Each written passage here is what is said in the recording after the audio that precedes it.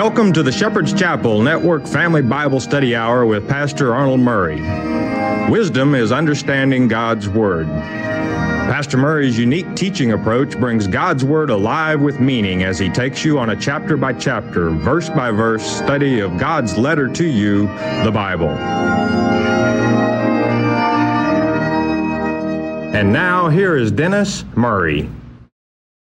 Good day to you. God bless you. Welcome to Shepherd's Chapel. Welcome to this Family Bible Study Hour. We're ready to get back into our Father's Word, this book of Leviticus. Uh, in our last lecture, we ended with chapter 16, which was uh, covering the Day of Atonement. And reminding you one more time, we, we don't go through any of that for expiating or atoning our sins now. We, we let that blood on the cross of Jesus Christ cover our sins today. Be sure you washed your sins in that blood. That's all you will ever need.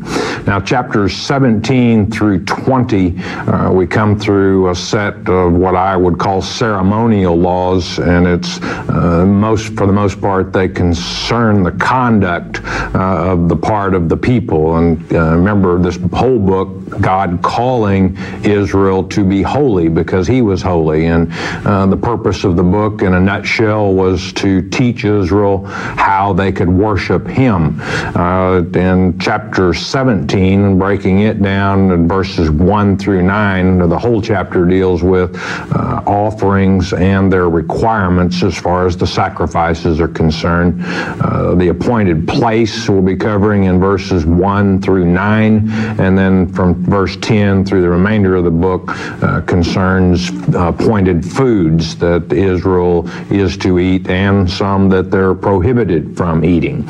So with that, we'll ask a, a word of wisdom in Yeshua, Jesus' precious name. Father, we ask you to open eyes, open ears this day. Chapter 17, the book of Leviticus, verse 1, and it reads, And the Lord spake unto Moses, saying, Verse 2 Speak unto Aaron, meaning the priest, uh, Aaron, the, the high priest representing the priesthood, and to his sons, and unto all the children of Israel, and say unto them, This is the thing which the Lord hath commanded, saying. Uh, what we're going to be covering is concerning the offerings and sacrifices, specifically where those are to take place. Uh, many scholars, there's a, a great deal of uh, argument among commentators, scholars, about what the next few verses talk about, whether it's speaking specifically uh, about sacrifices or is it speaking about all animals slaughtered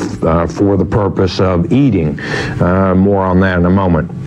Verse 3 what man soever there be of the house of Israel that killeth an ox or lamb or goat in the camp, or that killeth it out of the camp. And here we see where the argument starts.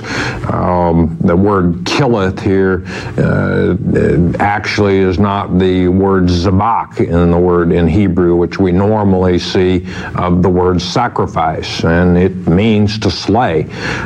Um, those of you with companion Bibles, uh, you'll note that you have a, a, a, by Bullinger in, in the uh, side column that the word killeth, it's necessary due to the ellipsis that it's necessary to supply, that, that this mean, that you supply the ellipsis, I should say, meaning that this means in sacrifice. And there's several, what does ellipsis mean? Ellipsis means that there's either a word or a phrase missing, but the rest of the context makes it very clear what we're talking about. Uh, a couple things that I note here. We have the ox, the lamb, and the goat. What are the sacrificial animals? The ox, the lamb, and the goat uh, uh, being acceptable sacrifices. So I disagree with the scholars and commentators that say this is pertaining to all animals killed for the purpose of eating and pertain only to those that are offered to the Lord. And another thing that they point out, the those that have the opposing view of what I just stated, notice the last phrase in that verse, or that killeth it out of the camp. This mean that what this means is that normally before this law was given, they might have killed it outside the camp. Not anymore, as we'll see in the next few verses. Verse 4 and bringeth it not unto the door of the tabernacle of the congregation to offer an offering unto the Lord before the tabernacle of the Lord. Blood shall be imputed unto that man. That's to say, he is guilty of blood shedding. Uh, in other words, murder, uh, punishment, extermination he hath shed blood, and that man shall be cut off from among his people. And uh, that, again, meaning extermination. Now, that's pretty severe, and the severity is going to be explained in the next few verses. And what was going on at this time was that uh, the altar of, of God was not the only altar in the area. There were all kinds of other altars to other gods. Uh, the whole purpose of this law, which will be stating that the people of Israel, if they're going to offer a sacrifice, they're going to do it to Yahweh, and that will be at, for this time period anyway, the only acceptable location will be at the tabernacle. Verse 5 to the end that the children of Israel may bring their sacrifices. Here we go. That's the Hebrew word zebach. Now we're getting down to where we know what the subject is. And again, the content here uh, makes it very clear to me that we're talking about sacrifices, not every animal slain for the purpose of eating which they offer in the open field, again, would have, uh, before this law, offered in the open field, even that they may bring them unto the Lord, unto the door of the tabernacle of the congregation, unto the priest, and offer them for peace offerings unto the Lord peace offerings in the Hebrew being shalem, close to a word many of you are very familiar with, shalom in the Hebrew, meaning, of course, peace, and the shalem being the peace offering. Again, we see here the tabernacle established as the only place, for this time being at least, uh, that one may offer. Now, this law uh, will be amended in Deuteronomy chapter 12. I'll start reading along about verse 13 in the following verses, and you'll see that once Israel was to enter the promised land, that no longer would they have to bring their sacrifices all the way to the tabernacle, which, uh, of course, started out uh, to several uh, places, locations, uh, and eventually winding up at the temple in Jerusalem, as most of you know. But uh, God made it possible at a point that they could take their burnt offerings to a place that He would designate designate within each of the 12 tribes. It would have been, you know, a considerable journey and quite a bit of uh, uh, uh, effort going into the means of travel. You know, they couldn't jump in their car and uh, drive 70, 75 miles an hour and, and get there as quickly as we can. It required either walking by foot, bringing your sacrifice with you, or perhaps if you were wealthy, having donkeys or, or carts, etc. Verse 6 and the priest shall sprinkle the blood upon the altar of the Lord, just as prescribed in chapter 3, verse 2, at the door of the tabernacle of the congregation, and burn the fat for a sweet savor unto the Lord. And again, there were other altars than the altar of the Lord.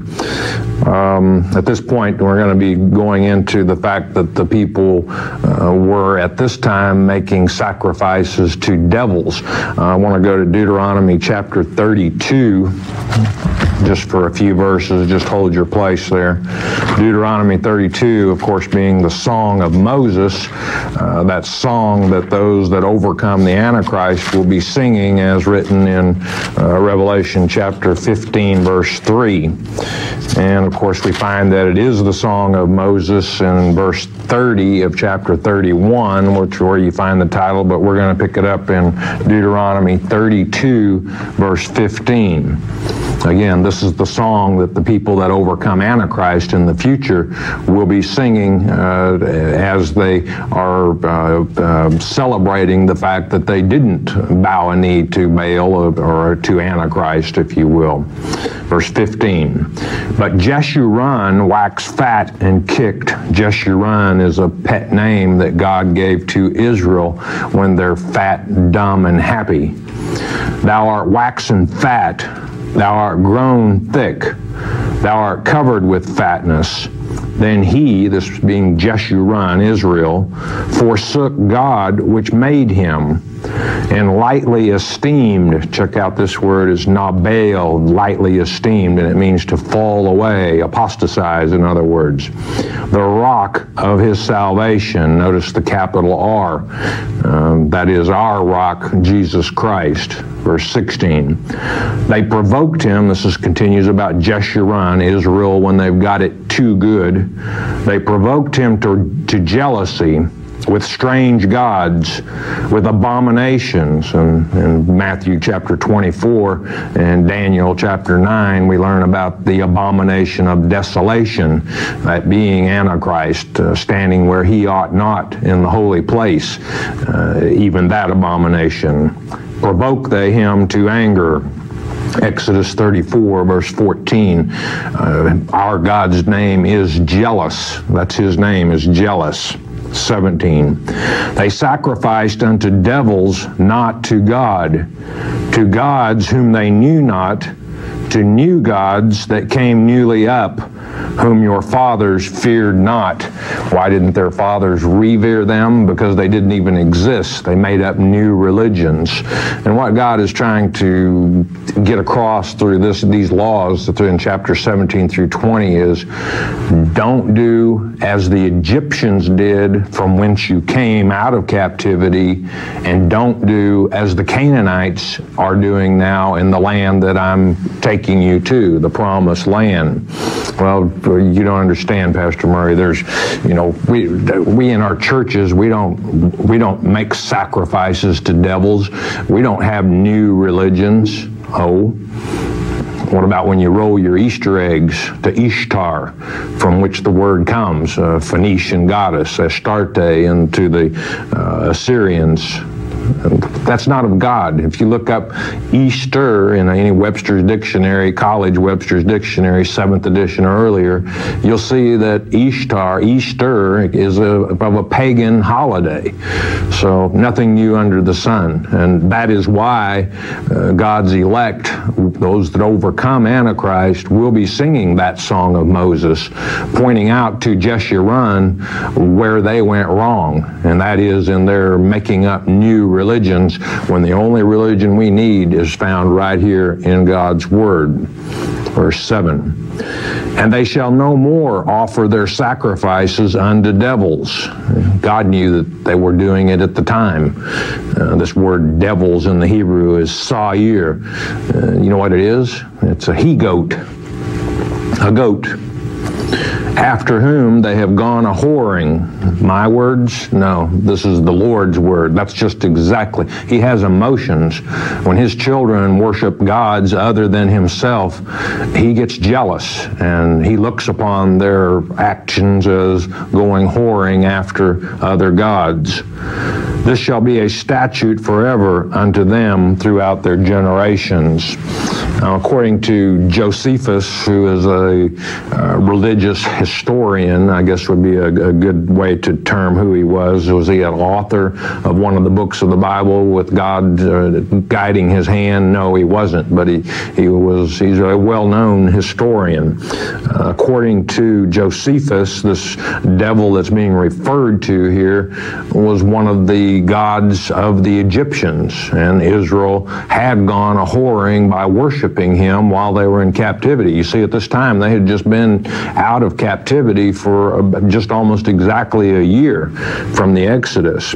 And this uh, Egyptian god named Pan, called Pan by many, the Egyptians actually called him Mendes, uh, personified uh, the male and fertilization in nature. Uh, he was half goat, half man type being. Uh, and from this actually come many things that you're probably familiar with today.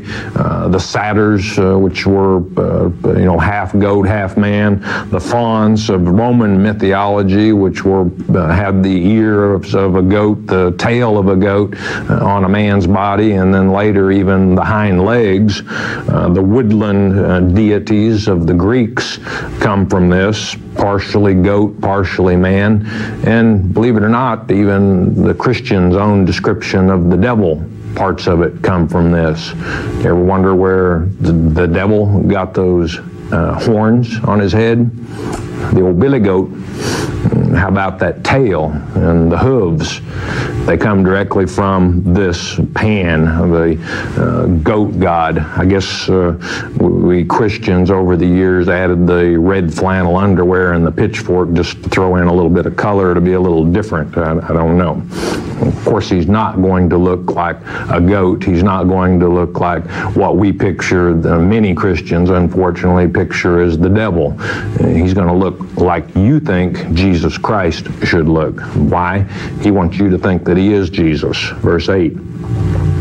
And thou shalt say unto them, Whatsoever man there be of the house of Israel, or of the strangers which sojourn among you, in other words, any foreigners that are living among the Israelites, that offereth a burnt offering or sacrifice, again, trying to uh, keep the practices of the heathen religions from rubbing off on the Israelites Verse 9, and bringeth it not unto the door of the tabernacle of, con- of the congregation to offer it unto the Lord. That's Yahweh. In other words, you make your sacrifices to Yahweh and Yahweh alone. There, there are no other gods even that man shall be cut off from among his people. Uh, extermination, pretty stiff penalty. Well, God was serious, and unfortunately, down through the centuries, uh, some of the uh, higher thought of kings, Solomon, the wisest uh, king of, of all time. Why? Because God gave him his wisdom, but in his latter years, uh, he fell into idolatry. Had over 600 wives and concubines and was bringing them in from all over the world, strange women, and building altars on the hillside around Jerusalem for them to worship their gods, and he even joined in with them. Verse 10. And whatsoever man there be of the house of Israel, and now we move into the uh, uh, appointed foods and prohibitions, or of the strangers that sojourn among you, that eateth any manner of blood, I, Lord speaking, will even set my face against that soul that eateth blood. Set my face against could be what its meaning is. That is to say, I will judge, and if anyone would know, he would know and will cut him off from among his people. And animals that are slaughtered to be eaten must be properly bled. Uh, this does not necessarily mean that you are to become a vegetarian, that any amount of blood is not to be eaten. What this means is that when an animal is sacrificed, that uh, and anyone raised on a farm knows that when you slaughter an animal to be eaten, it must be properly bled. Hunters that hunt game know that you must bleed it after killing. And why? Well, the meat will putrefy very quickly if you don't. And God also has some other reasons that we're about to learn about why you don't eat the blood. And drinking blood was a common practice of the heathen as well. Uh, warriors felt like that if they uh, drank the blood of a powerful animal, that they somehow would inherit uh, those characteristics of that animal and, and make them better warriors, in other words. Verse 11, for the life, and this word in the Hebrew is nephesh, one you're very familiar with, many of you, which means soul of the flesh, is in the blood And I have given it to you upon the altar to make an atonement for your souls. For it is the blood that maketh an atonement for the soul. God selected blood to be the, um, uh, the, vehicle by which man could obtain atonement and expiate his sins. At this time, it was in the blood of those animals that were sacrificed. Obviously, today, it's the blood of Jesus Christ that makes atonement for those who believe uh, on him and repent and obtain forgiveness. Verse 12. Therefore I said unto the children of Israel, No soul of you shall eat blood, neither shall any stranger that sojourneth among you eat blood. Verse 13. And whatsoever man there be of the children of Israel, or of the strangers that sojourn among you, and notice the same laws that apply to Israel apply to foreigners who are living among the Israelites. Don't, don't let it creep into your society, is the point which hunteth and catcheth any beast or fowl that may be eaten. In other words, it's clean animal, as we learned in, in chapter 11. He shall even pour out the blood thereof and cover it in the, with dust. And some think that this means to prevent uh, desecration of the blood, in that God chose that blood uh, to be, if you will, the soul of the flesh. Now, don't misunderstand. This is talking about the soul of the flesh, not your eternal soul, so to speak. Uh, uh the blood, which carries oxygen and nutrients to your flesh body, you can see how it could be defined as the soul of the flesh, but don't get spiritual and physical mixed up here. Verse 14. For it is the life of all flesh. The blood of it is for the life thereof. Therefore I said unto the children of Israel, Ye shall eat the blood of no manner of flesh, for the life of all flesh is the blood thereof. Whosoever eateth it shall be cut off. In other words, exterminated. Verse 15. And every soul that eateth that which died of itself, or that which was torn with beasts, and in Exodus 22 31, it's established that an animal that is torn by beast should be thrown to the dogs. Whether it be one of your own country or a stranger, he shall both wash his clothes and bathe himself in water and be unclean until the even. Then shall he be clean. And why is this prohibition? Well, uh, an animal that dies of itself or is torn is possibly doesn't meet the two conditions here. It's not uh, uh, properly uh, bled after it was killed, therefore it could putrefy very quickly. Uh, the second reason would be that possibly the animal was diseased and that's what caused him to die. Uh, not uh, punishable by being cut off, but certainly defiling the person that partook of it. Um, also in Deuteronomy chapter 14, 21, we learn that if you come across an animal that died in itself or is torn of um, uh, beasts of prey, for example, that it's all right to sell or give the flesh to uh, a stranger, but it certainly would not be allowable to a stranger that was sojourning or dwelling among the children of Israel. Verse 16. But if he wash them not, nor bathe his flesh, then he shall bear his iniquity. To bear one's iniquity always means that God will choose the punishment, and it can range uh, anywhere from being struck with an illness or a plague uh, to remaining childless all your life, or uh, possibly even extermination, in other words, to die. now we come to chapter 18. And what we'll find here is the prohibition against incest. And many would say, well, you mean incest wasn't against the law to, from the get-go? No, it wasn't. This law was, is being established right here. In no previous chapter of the previous two books of the Bible do we have the law of incest. Well, do you mean, do you mean to say that that meant it's all right for Adam's and Eve's sons and daughters to lay with each other and, and produce children. That's what God's Word is all about. And he wanted that, that seed line from Adam uh, and Eve to be kept pure all the way down, as it's written in the first prophecy in the Bible, Genesis chapter 3, verse 15, uh, where God is talking to Satan, the, the, serpent, and his role as the serpent. And he talks to, you know, to the uh, serpent and he says, uh, what you, for what you've done, uh, I'm going to put enmity between thy seed and the woman's seed. That means I'm going to keep them apart. And you will bruise his heel, which they did, he and his, with Christ on the cross when they drove the spikes through his heels. But it, meaning he, Christ, will bruise thy head. That bruising is yet to come. I look forward to the day. I hope I get to witness it.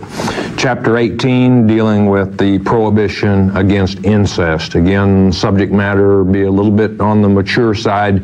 Uh, if you're not certain, if you're watching with a younger viewer, you might want to record the program watch it later yourself and see if there are any issues that you're not quite ready to discuss with the youngsters yet. And that's understandable if that's the case. Chapter 18, verse 1 And the Lord spake unto Moses, saying, verse 2 Speak unto the children of Israel and say unto them, I am the Lord your God. That same I am that when Moses went up on the mountain the first time, Mount Sinai, and God spoke with him there and said, This is what's going to do here, and this is what you're going to do there. Now go down and tell the, the, my children, the children of Israel, what's going on. And Moses said, Wait a minute, you know, who should I say sent me? And he said, I am that I am. And that's what he meant, and that's what he is. That means he has always been, he can be anything, anytime, any place that he wants to be. And notice the uh, this chapter begins with I am and also ends with I am, adding uh, special emphasis, if you will. And I think the I am occurs four other times in between the beginning and the end. Verse 3 After the doings of the land of Egypt, these, this word doings means abominable, abominable practices in the original language, wherein ye dwelt, in other words, you just came from there, shall ye not do. And after the doings, the abominable practices of the land of Canaan, whither I bring you, shall you not do, neither shall you walk in their ordinances, or maybe better translated, statutes. Now, this prohibition of incest, and we'll also see in the uh, latter verses of this chapter, against sensual or carnal abominations are introduced also, but the warning, as we just saw, against the customs of the Egyptians and the Canaanites. Verse 4. Ye shall do my judgments and keep mine ordinances to walk therein. I am the Lord your God. Again, keep track of the I ams. Or he's, he's laying it out and with emphasis here. I don't want you doing like the Egyptians and the Canaanites or the land you're going into. Uh, you're going to do my judgments and my ordinances. Why? Because I am the Lord your God, he says verse 5. Ye shall therefore keep my statutes and my judgments, which if a man do, he shall live in them. I am the Lord. And this live in them is the same as the resurrection spoken of in Revelation chapter 20, verse 5. Those who take part in that first resurrection have eternal life. That's what we're talking about here. And God's saying, if you do my statutes and my judgments and, and live that way, uh, you will live. And that means eternal life. What's the alternative? Death. Verse 6. None of you shall approach to any that is near of kin to him to uncover their nakedness. I am the Lord. Again, how many times I am the Lord? He's making his case very strong here. Now, there's a lot of confusion among preachers, teachers, whatever, uh, concerning what it means to uncover one's nakedness. And let's clear that up right out of the gate. Uh, turn with me. You're not going to have this on your monitor. Turn with me to Leviticus chapter 20, verse 11, just one or two pages over in your Bible. Just one verse there, so hold your place. Leviticus 20, verse 11. And the man that lieth with his father's wife, this is specific in the Hebrew, it means his stepmother, otherwise it would say his mother, hath uncovered his father's nakedness. Both of them shall surely be put to death, their blood shall be upon them. Now, this, uh, unfortunately, the misunderstanding of what it means to uncover one's father's nakedness uh, is used by a lot of different religions, churches, to teach that in Genesis chapter 9, that that was the origination of our black brothers and sisters in Christ. What a bunch of hooey to uncover one's father's nakedness means to sleep with his wife. In other words, Ham slept with Noah's wife, his own mother, an incestuous relationship which resulted in the conception of Canaan. And therefore, Noah, being very aggravated about the whole situation, put the curse on Canaan. It wasn't God that put a curse on Canaan. Many teach it was God that cursed him, and that curse was that he turned their skin black, and which is and, and to think that in, the result of an incestuous relationship, you have Noah, who is Adamic, you have uh, his son Ham, uh, who is Adamic, Noah's wife certainly Adamic, and they have a child, the Ham and his mother, and that turn an incestuous relationship turns the color of the skin. I don't think so. So let's get real about this. We're talking about uncovering someone's nakedness means lying with them in, in the act of intercourse. Verse 7 The nakedness of thy father or the nakedness of thy mother shalt thou not uncover. She is thy mother. Thou shalt not uncover her nakedness. And for in Genesis chapter 2, verse 24, when a man and a wife join, uh, they become what? They become one flesh. So if you uncover one's nakedness, obviously you uncover the other's nakedness.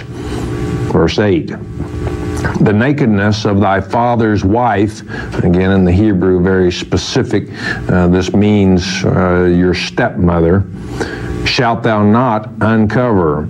It is thy father's nakedness. And this uh, law also extended to concubines. Uh, for example, sometimes, and, and, there was no prohibition at this time against a man having more than one wife, uh, and many had many wives and many concubines. As I uh, mentioned just a few moments ago, um, uh, Solomon had over 600, 700 wives and concubines, and how he kept up with that, I will never know. Uh, but uh, again, this would uh, defile the father's bed by him, the, the, the one sleeping with his wife, uh, whether that be stepmother or mother. Okay, I think we'll stop there for today and pick this up in our next lecture. Uh, we'll see that uh, many different relatives and also non relatives will be off limits, as we'll see. And also, when we get to chapter 20, we'll learn what the various punishments are for lying with a relative, and they vary depending on which relative it is. Anywhere from the penalty, as we saw when we went to chapter 20, verse 11, uh, for the definition of uncovering one's nakedness, uh, they were to be stoned to death. That was the worst penalty, obviously. Uh, other penalties range from bearing their own iniquity, meaning God chooses the punishment, to being childless, uh, to no punishment for one of them, as we'll see. But anyway, we're going to stop there for today. We've got a short message. We'll ask you to listen a moment. Our Father truly loves you. I love you because you enjoy studying our Father's Word in more depth. But what's really important, He loves you for that. It really makes His day. And I want you to know that I appreciate you. We're brought to you by your tithes and offerings, and we've helped you. You help us keep coming to you. Once you do that, Bless God, know what? He will always bless you. But there's one thing that's more important than anything else. That's this that you stay in His Word every day. In His Word is a good day, even with problems. You know why? Jesus is the living Word. The Mark of the Beast on CD is our free introductory offer to you. What is the mark of the beast? Many false teachers would have you believe it will be a tattoo on your forehead or a computer chip implanted under your skin. It is getting late in the game. You need to know what the mark of the beast is. As it's written in Revelation chapter 13 verse 8, many will be deceived. There is no need for you to be deceived. Christ said in Mark 13, 23, Behold, I have foretold you all things. Jesus indeed told us how not to be deceived, and Pastor Arnold Murray takes you on a step by step study of God's Word concerning this critical subject, the mark of the beast. The telephone call is free. The CD is free. We don't even ask for the shipping and handling. It is free as well. All you need to do is call 800 643 4645 to request your one time, one per household copy of The Mark of the Beast. You may also request your free CD by mailing your request to Shepherd's Chapel, Post Office Box 416, Gravette, Arkansas 72736. Don't be deceived by Satan. Hearing God's Word with understanding will change your life. We hope you have enjoyed studying God's Word here on the Shepherd's Chapel Family Bible Study Hour with Pastor Arnold Murray. If you would like to receive more information concerning Shepherd's Chapel, you may request our free introductory offer. Our introductory offer contains the Mark of the Beast audio tape, our monthly newsletter with a written Bible study, a tape catalog, and a list of written reference works available through Shepherd's Chapel. To request our free introductory offer by telephone, call 800 643 4645 24 hours a day. You may also request our introductory offer by writing to Shepherd's Chapel, Post Office Box 416, Gravette, Arkansas 72736. Once again, that's Shepherd's Chapel, Post Office Box 416, Gravette, Arkansas 72736. We invite you to join us for the next in depth Bible study each weekday at this same time. Thank you for watching today's program, and God bless you.